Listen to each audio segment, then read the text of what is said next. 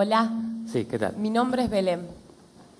Tocaste varios puntos de los que tengo. Uno es la artritis, alergia, pero principalmente por lo que quiero preguntarte es, sufro siempre de ataques al hígado. Y Sí. tuve hepatitis hace a los 15 años. Bien, ¿hoy tenés? Eh, tuve un ataque muy fuerte de hígado hace dos semanas, muy, muy grande. Bueno, ¿hoy con quién vivís? Sola, ¿Sola? sí, ¿Tu familia vive? sí. ¿Sufrís por alguno de los integrantes de la familia cuando sentís que pueden carecer en el futuro? Sí, Eh, ¿Sentís que, que muchas veces eh, sentís que tenés que como cubrir, cubrir esas carencias? sí, Un miedo que falte. sí. Eh, ¿Alguien te faltó en la vida?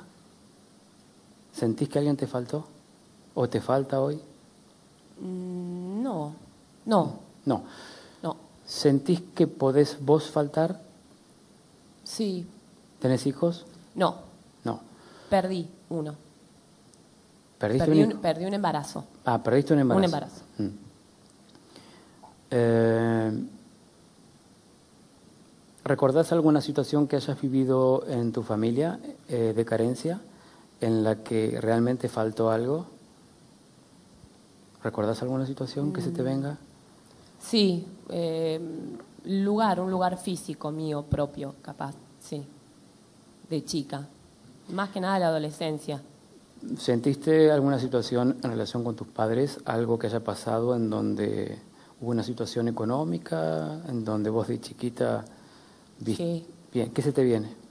Y eh, o ha faltado a veces, o sea, nunca nos faltó nada a nosotros, pero sí tengo el recuerdo de mis viejos, no sé, no comer un plato de comida por darnos a nosotros y tomar un, un té. Eh, ¿qué- ¿Recordás más o menos qué edad tenías vos en ese Eh, momento? ocho, Ocho años. más o menos. Ocho años. Bueno, esa situación evidentemente te ha, te ha marcado. Es como si a partir de ese momento esa haya sido la primera A de tus conflictos de carencia. Eh, que a partir de ese momento, de los ocho años, vas a vivir situaciones de carencia, en la que vas a tener miedo a que falte algo. En relación con el futuro siempre, ¿no? El miedo, la falta, siempre se relaciona con el hígado. Fíjate que el hígado es el único órgano del cuerpo humano que se encarga de almacenar lo que falta.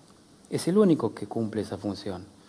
Cuando vivimos un estrés emocional en donde nuestra metáfora, nuestro lenguaje interno nos indica y nos dice, tengo miedo a que falte algo, o tengo miedo a faltar yo, o tengo miedo a que nos falte en el futuro, o a que les falte a mi familia en el futuro, porque ¿qué pasaría si a ellos les falta? Y tengo que hacerme cargo yo para que a ellos no les falte. Entonces como que te persigue de alguna manera el mismo conflicto siempre. ¿Me explico? Sí, sí, sí. Entonces los, lo estás viviendo permanentemente, es decir, cualquier cosa te puede conectar a la misma emoción.